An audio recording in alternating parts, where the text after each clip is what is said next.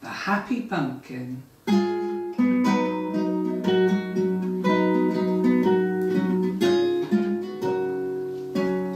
I've got a friend who is big and round and oh so jolly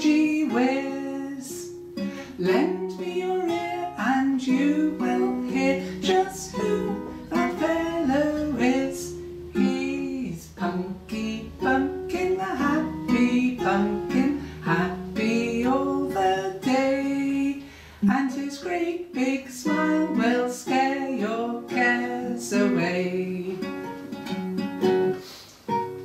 Punky Pumpkin, the happy pumpkin, never wears a frown. You can see that he's cut out to be a clown.